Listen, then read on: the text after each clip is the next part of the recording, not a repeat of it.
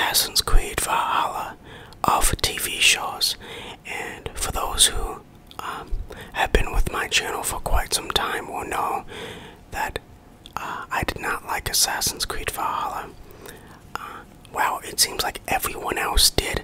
So that is sort of what I'm getting at with that comparison here. Now, the show itself, it isn't bad, but it isn't good.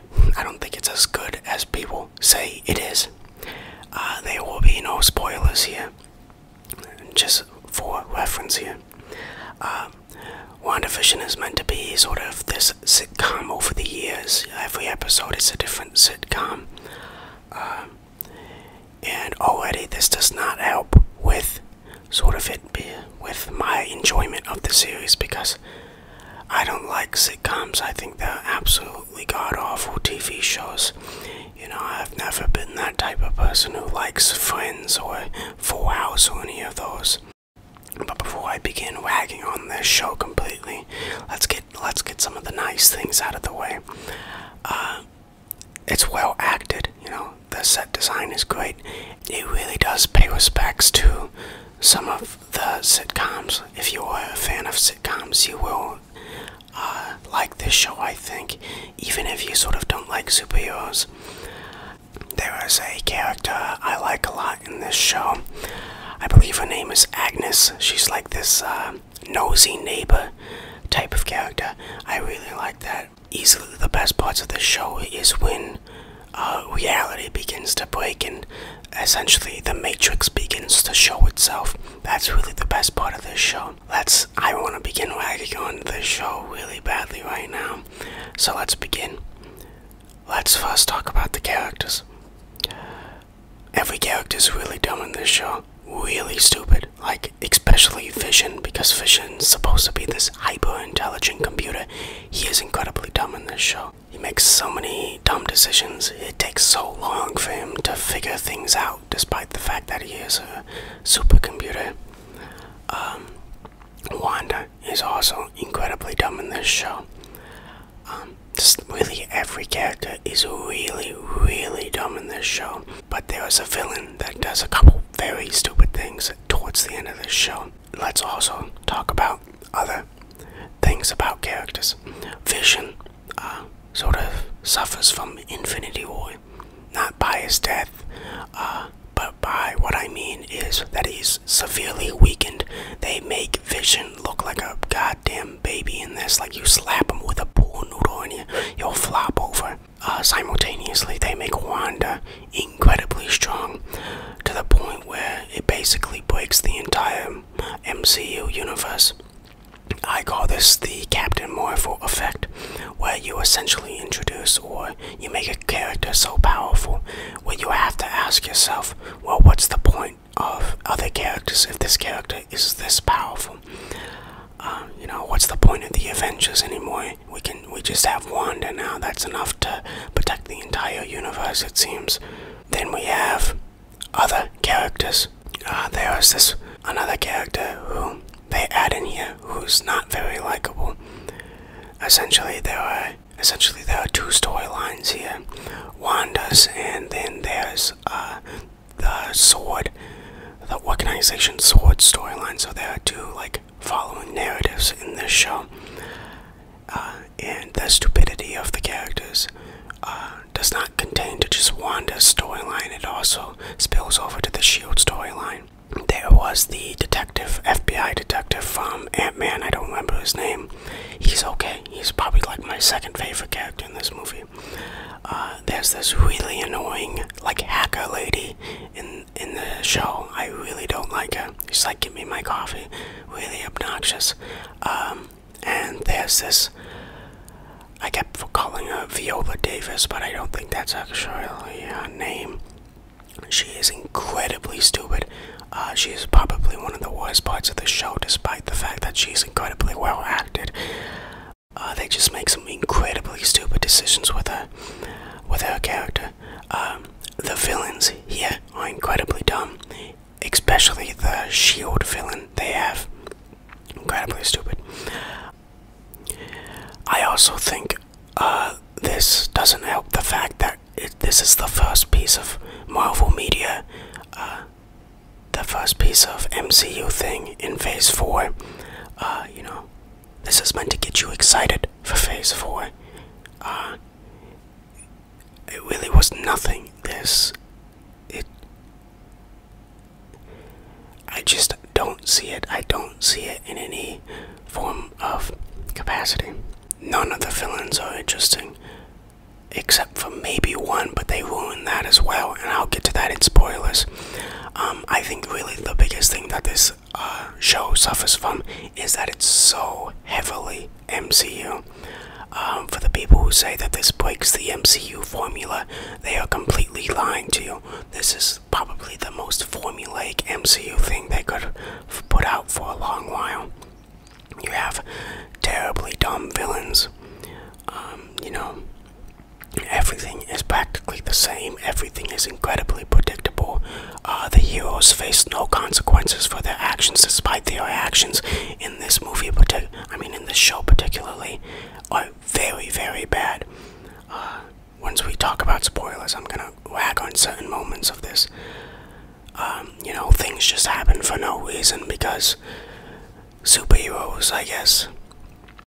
Uh, and it really does everything I hate in an MCU film, but in a TV form.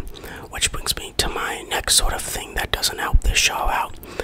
Uh, and it's the fact that sort of doing this break from Endgame and this new piece of media they've put out, I have put a lot of thought into, you know, different MCU movies. I've sort of realized how dumb they are, so I know what I, uh, so I know what to point out here, this doesn't help with sort of the time gap between these two, uh, the Endgame and a WandaVision. And overall, it sort of just doesn't make me like uh, Wanda or Vision. Once again, I will say that the show isn't bad, but it's just not very good. I think this is either the worst or the second worst sort of Marvel media I have consumed. Um, I would give it maybe like a 5 out of 10. It's very average. Uh, however, this is something I usually don't do in reviews. I do want to talk about spoilers, since there are incredibly dumb moments in this movie, I mean, in this show. Uh, so, if you want to watch the show, you can watch the show. Do whatever you want. Okay. Are we good? Are you done now? You can. Now let's talk spoilers. Thing number one that I hate about this movie is that it has no stakes. Um, one thing I hate about Marvel movies is that somehow all characters come back, you know. Even in Endgame, every character somehow managed to come Loki, people who were dead, dead, came back somehow. And they once again do that again with Vision. Uh, a temporary vision. First, it was a vision from Wanda's manifestations of like sad and sadness and anger. However, they made they introduced this white vision towards the end of the movie, end of the show. I keep saying movie. I'm sorry. End of the show, and you know, vision like the cognition of vision, uh, sort of jogs white vision's memories, and so that white vision zooms off. So vision is essentially back now, uh, basically saying a, a, huge fu. Um, so Vision is back and not dead. That's great. Uh, I love when characters can just come back through very convenient means. Um, speaking of characters that come Quicksilver came back in a sort of a recast. We never really get to see what happened to him. uh, he was created by our main witch villain, so we never see what happens. But I'm 100% sure, 100% sure that he is still here and he has remained. Uh, because of course this is the Marvel Cinematic Universe, and characters can't die in the Marvel Cinematic Universe. Uh, the most infuriating thing about this show is probably the characters, uh, especially Wanda, and how people react to Wanda. There are no goddamn consequences for anyone's actions in this show. Uh, Wanda essentially uses a town of people as puppets, and she gets to roam free because she's a part of the Avengers. Uh, this is incredibly stupid. You know, there's this really stupid scene between uh, the lady, the new character, the new hero, the African American lady, and she's like, they'll never know what you've been put through. Like, what the, what the, you, you basically, like, what? Like, they're trying to pull this sympathetic card, and how Wanda was the one that was suffering.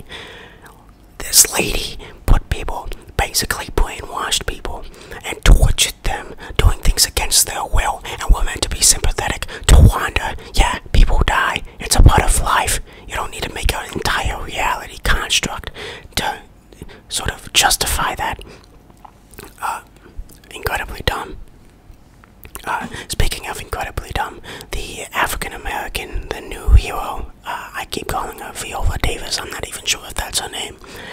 Uh, she's apparently a superhero now because she walked through like Wanda's little barrier thing. Really? It is so stupid, so dumb.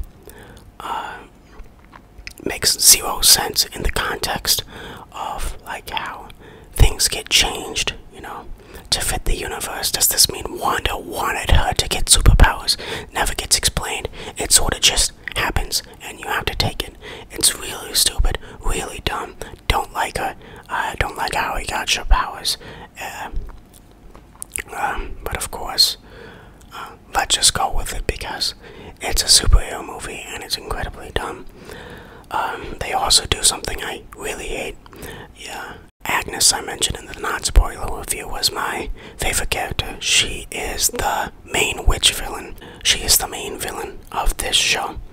She was a pretty good villain. She wasn't like outstanding, but she was okay. However, they do something I completely hate with her. First of all, you know, she traps Wanda in sort of this, this room with signs so she can't wield magic, and that's cool, you know. Agnes is using her intelligence to sort of outsmart Wanda because Wanda is a, a really stupid person when it comes to wizard, like witch stuff, so that's really cool. But then Agnes brings Wanda outside without the sealing magic. Are you an idiot? Are you stupid? What the hell are you doing? Seriously, you're stupid. Get it, it's so she can absorb magic. But, you know, wasn't there like a scene where uh, Agnes could like change reality itself by wielding a spell? I'm sure there was a spell in a little handbook or cookbook there where she can forcibly take her there her magic without having to send her outside. Not only that, but she also like helps Wanda. She's like teaching her spells and techniques while she's fighting them. Like this is an anime, like Dragon Ball Z. She's like teaching um, uh, Wanda. And it's like you know this person is dangerous. You see how dangerous she is, and you want her to be dead. Why are you telling her information like, oh, these are seals. Uh, whoever wields them uh, can't use magic anymore. Oh, thanks. Thanks for the information. I'm just gonna use that on you. Like, what the hell is wrong with you? And then they probably do the most MCU thing out of all of this, and they essentially uh, get rid of Agnes forever. Um, uh, Scarlet Witch, uh, Wanda essentially beats Agnes and says, "Yeah, you're going to be sort of this, uh, this nosy neighbor role for all time now." And so, is gone uh, from the MCU. Um, I'm really getting sick and tired of these sort of one-time villains. They really need to begin uh, making villains that actually overarch into many different movies, many different pieces of media from the MCU, like Loki, because these villains are just so weak and they can't be explored long enough for a TV show or a movie. They really need to begin making these villains uh, multi-movied, multi-showed.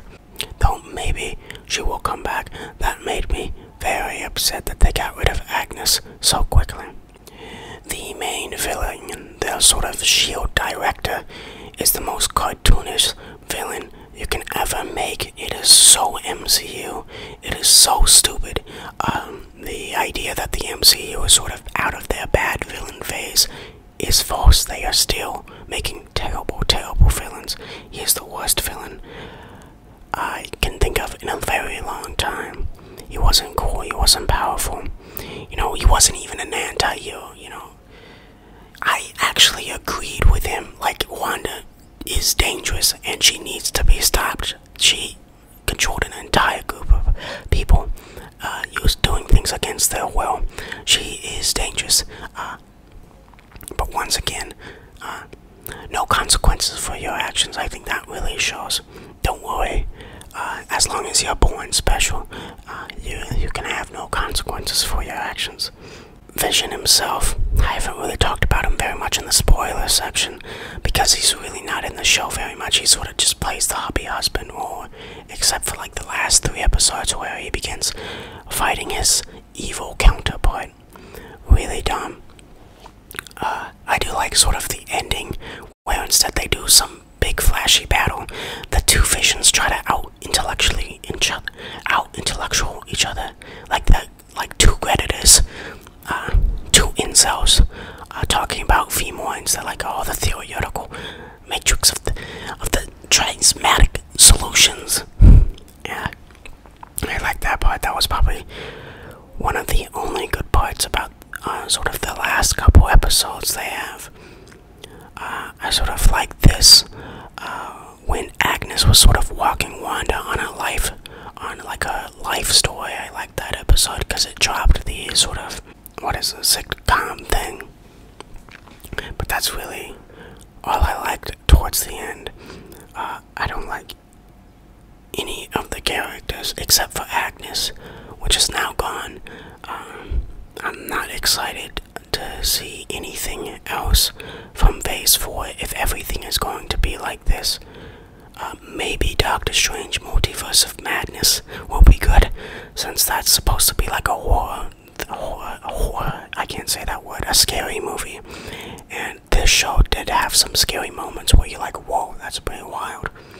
Like they show Vision, Vision dead for like half a frame, and then they show Quicksilver dead for another half a frame, and those moments were pretty scary. So maybe there's some potential in that, but this really doesn't get me excited for the future of the MCU. Only thing I could think of during watching these episodes were, "That's so stupid. That makes no sense. Wait, what? I'm so confused. Like." It makes no sense, and of course they have to, you know, blue ball you, tease you at the end with. Um, I'd even mention Wanda's kids. Uh, once again, Wanda's kids. I mean, I know they're in the comics. I really didn't like either of them. Uh, and it's not the fault of Wanda's. Uh, it's not really the fault of the actors. It's, uh, I don't know. I just found them really annoying. Everything about this show is just really annoying, I think. Once again, it's one of those things where it seems like I didn't like it, but it seems like everyone else did. Uh, so, those are sort of my thoughts. I think what really pissed me off was there were no consequences for anyone's actions in this. Um, all I'm saying is, if I were a superhero, I would have. I would go for Wanda. I would try to kill Wanda since clearly um, she can be a little bit uncaged at times, and that is very dangerous with someone so powerful as her. Uh, so, that's sort of what I think of WandaVision. Really disappointed, not looking forward to anything uh, that and the MCU is going to be putting out soon. Uh, I will see you next time. Remember, I love you more than watching this show, which really doesn't say a lot. Bye bye.